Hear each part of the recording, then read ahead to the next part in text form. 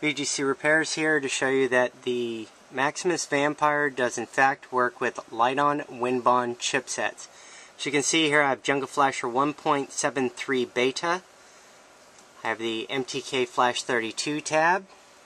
I have my Lite-On port, SATA port set properly. I hit intro.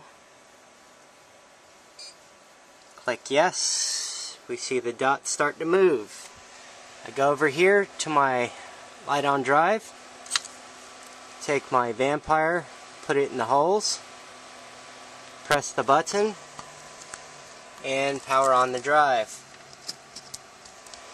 As you can see I have the blue light.